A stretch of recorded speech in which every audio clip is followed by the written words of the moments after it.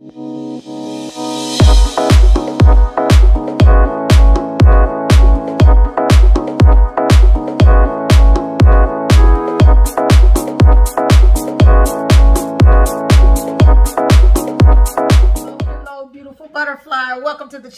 with Tunisia Ali, and I am here to help you gain clarity over your life, heal and clear energetic blockages and things that are standing in your way, up level your mindset so that you can manifest the glory of God. That it's you that is within you. How are you today? I hope you are feeling peaceful, productive, prosperous, living passionately and in your power and on purpose. The six P's. Okay, today's oracle message or daily healing inspiration is coming from our book, my book, Manifesting Your Masterpiece. If you have not purchased this book and you're looking to do those things that I talk about here on the channel, and the things that I just stated as in uplevel your mindset so that you can manifest your greater slice of life or your best life or the glory of God that is within you, make sure you get a copy of this book and add it to your healing library. All right, let's go ahead and dig in. Left or right, left or right. I feel left for sure. And let's see what we come up with. Think of a question, okay, in your mind. Something that you want the answer to Remember the message, uh, you will need to extrapolate upon the core of some aspect here. I have two, y'all. Oh my gosh. Believe in your value. That's the underlying message, which we'll get to. The top message literally is exude harmony and balance. Okay, so let's take a look at that.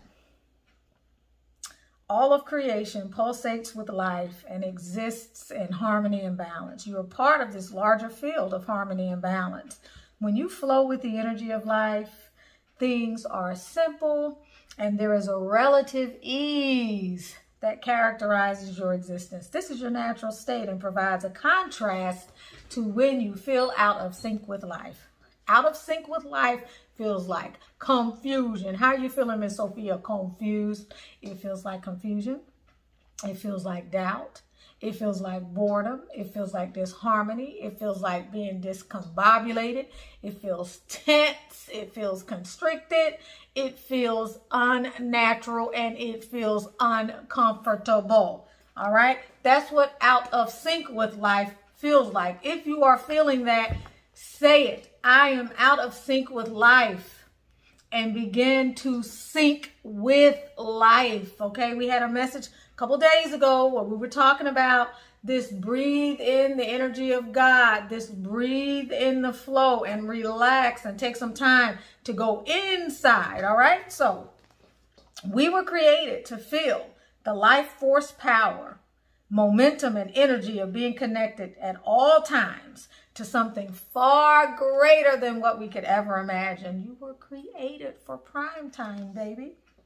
So the more that we are consciously connected to this force, the more we will experience this state of internal peace. So the message today is asking you to take a look at what in your life has you feeling topsy-turvy. What in your life has you feeling out of sync with your natural state of balance. Is it a person that has you feeling out of sync? Is it a place that you keep going to that makes the hair on the back of your neck stand? Is it someone at work in the adjoining cubicle? Is it the job that you are going to? Is it the business decision that you're getting ready to make to form a partnership with someone that just does not feel right? Is it the a promise of a dream or a quick rich a scam or rags to riches narrative that someone is telling you to get you to invest in that's making you feel out of sync and out of balance, something that you're having to overthink. What is it in your life that feels like it is breaking step with a natural state of emotional equanimity, also known as equilibrium, all right? So, the key is knowing. So, okay, so this this this this higher um, force that is greater than anything that you can imagine. All right. So the more that you're constantly connected to this force, the more that you will experience a state of internal peace. People say all the time they can't relax. They can't sleep at night. I was a chronic insomniac um, and anxiety person for over 20 years. Constantly had that complaint. But what was I doing about it? Was I getting quiet? Was I sitting my arse down somewhere? Or was I constantly being stimulated? Was I constantly trying to control everything? Was I constantly acting on every impulse? If you want to experience a state of synchronization and flow, you have to sit your butt down. You cannot keep hopping from one place to the other, doing the same things the same way you have been, and expect to change anything in your life. It is not going to happen. The key is knowing when you're out of balance and need to restore your connection with this larger field of unity. When you feel depleted, emotionally upset, and out of sorts, know that you are out of congruence with this force and that a reorganization is necessary, y'all. During these times, you must seek balance because you are out of balance. You are out of balance. Stop and take stock. Breathe. Cease reacting to the chaos around you, which is only serving to mirror the discord within. There can be a whole lot of chaos around you, and you don't even have to be cognizant, cognizant of it or moved by it if your internal state Go placidly amid the noise and haste, and remember what peace there may be in silence. If your internal state is solid and steady and has equilibrium, it doesn't matter what's going on out there. It doesn't faze you at all. But if it's bothering you, then it's because something inside of you isn't at the highest octave of balance that it actually could be. Remember that. Find peace, perspective, and connection by anchoring yourself in the present moment and being a witness to the miracle of creation all around you. Take in the effortless flow and allow yourself to entrain to this frequency for a moment. Resolve to do what is necessary to get back into alignment with the only true essence that fuels all. Create ways to declutter your life whether it is letting go of emotional debt that you have by way of owing people money or financial debt via credit cards or borrowing or being overextended or maybe the clutter in your life is emotional clutter as a result of a relationship that you should have let go a long time ago which is oftentimes the case with so many of us okay, on this journey is knowing when to close a door so that you can open another one, knowing when to get out of a toxic environment or something that is ceasing to allow for your growth and your fruition. I'm going to use that word like that because it is no longer to be. It is simply no longer. So whatever it is that you need to declutter, for some, literally it is the physical space around us that actually needs to be decluttered because the physical space is not allowing the energy of life to permeate our environment. So do what's necessary, all right? Pre reprioritize your life, manage your energy better, and shift your consciousness and attitude. Know that you have the power to make a difference. Here's a question that you're going to want to ask yourself.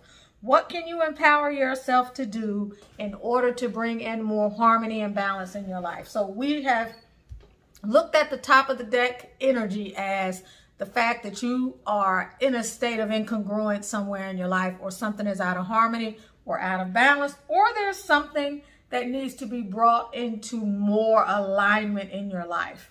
And that as you believe in your value, which is the underlying message, as you believe more in your value, you will be able to make the decisions necessary to declutter in order to come into congruence and alignment to bring the balance back into your life. But before you do any of that, you need to get still, all right? Believe in your value. Let's look at this message. Honor yourself by knowing your value and being willing to ask for what you feel your contribution is worth. Never shortchange yourself by charging less or asking for less than what you or your services are worth. Don't undervalue your accomplishments or your expertise. Take time out to acknowledge and celebrate the milestones and accomplishments that have made you who you are and have given you the unique skill set to be able to do what you do and to be who you are. Speak your asking price with confidence and have faith that you will get what you are deserving of. Your asking price says a lot about your self-concept and your expectations of life. Allow opportunities to arrive that answer your prayers for more abundance by asking and then trusting that you will receive your due proportion. Asking ye shall receive. And the question you need to be asking yourself is what should you be asking for and what is stopping you? What is it in your life that you know you deserve better than? What is it in your life that you should be living in and reveling in that honors you, that requires that you put your foot down or set a boundary or ask for more? Is it the job that is only going to give you what you ask for or doesn't mind if you're settling because they don't have to pay you what you're worth? Is it the relationship that you are in that you are settling and refusing to speak authentically about what your gripes are with regard to needing more, desiring more, deserving more? All right. What is it that you need to be asking for? You can take this literally if you have your own business and it's about setting a price for something or you volunteer to do something for someone and you can't keep it up until and unless you're being compensated proportionately for the effort that you're putting in. But it may not be about that. It could simply be about what is it that you need to speak that conveys you have a higher value for yourself than what the other party is being required to acknowledge. What is that? Now let's take a look at two of the butterfly affirmations. How soothing, right? And let's see what other messages. We have one, we have two. We're going to get four messages. Three, and we're going to get, oh, looks like five wanted to come out. First and foremost, everything's going to be okay. All right? Everything's going to be okay. It already is okay. You just hadn't caught up to it yet. What's that movie? I forget what it was called, but everything will work out and if it doesn't it's not the end like everything's always going to work out it always does it has no choice but to that's the way life is i am strong enough to face every issue in my life with courage and trust i love this color isn't that gorgeous and here is everything is okay okay beautiful beautiful all right the next one I am thankful for many things, and my gratitude attracts abundance into my life. I love that. Here we go, y'all. Is why I said this before. I don't need to control life. I trust in magic and miracles. Take your hands off the steering wheel. To bring in the harmony and the balance and the most creative energy of the universe, you have to give way and allow. You have to trust and have faith. And if that is not a part of your paradigm, then rest assured, suffering no doubt is. Next, I don't compare myself to others because I am not meant to be a copy of anyone else. I was born to be me and original, one of a kind. I am happy to be me. I'm so happy to be here. And here we go again, y'all. All right, Whispers of the Ocean. Let's get us a beautiful message from the Whispers of the Ocean deck. So yeah, it's about something in your life being out of balance because you need to feel more deserving of whatever it takes to get the balance back. It's something that likely has to be tweaked, adjusted, or maybe even removed from your life to get the balance back. Here we go, y'all. Dun, dun, dun. Ooh, mutually beneficial venture. Look at that. That's why I love these cards. This could be a relationship. It could be a mutually beneficial venture, something that you are cohabitating with. Uh, with regard to someone else, two people, three people, collaboration, um, building, teamwork, um, two people coming together to invent a third or create something else.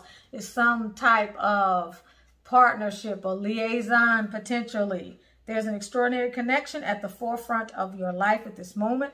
Utilize this relationship to benefit everyone concerned. See how that plays out.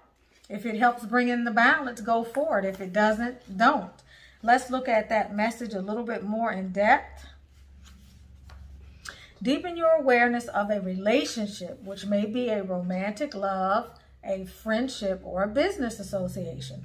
This card indicates that the spirit of cooperation and mutual interest supports this connection. Make sure you are doing whatever is necessary to foster better communication and to strengthen what is already in place. Use balance, respect, compassion, and understanding as these traits will improve all relationships at this time. This connection may offer a new perspective or insight. Strive to be more thoughtful and kinder, not only to a companion, but also to yourself. To be truly loved, deeply treasured, and highly valued by others, create those feelings for yourself. Do you see? Creating those feelings for yourself makes you full, makes you not in need of anything else from anyone else, which is when you get everything, literally. Work towards loving yourself more and having high regard for the truth of who you are. Many need to do this in their life. If you would get busy about the business of focusing on you instead of searching for everything outside of yourself to so-called enrich your life, you would find life would be more rich. I'm telling you, when you value yourself, others cannot help but respond to you in an equally affirmative manner. It's like if you tell the universe you don't mind traveling in coach, or at the back, that's where you're going to be. That's what you're going to get. But if you travel first class and you only accept the highest of the high, according to where you are on your evolutionary ladder, which is a subjective thing, then that's what you're going to get. What you put out is what you get in return. When you feel your value is high and you only are at the upper echelon, then that's the only kind of stuff that comes to you. All right? Clownfish and sea anemones have a special relationship. Sea anemones can paralyze and kill their prey with their stinging tentacles, but clownfish are protected. That's Nemo. Nemo. Just keep coming, just keep coming, just keep coming, just keep coming. Clownfish are protected from their venom. Clownfish have mucus on their skin that keeps them from feeling the sting of the tentacles. What the the clownfish live in partnership with certain species of anemone and shelter among their numerous tentacles. The clownfish are protected from their predators and in turn keep some harmful elements from the anemone.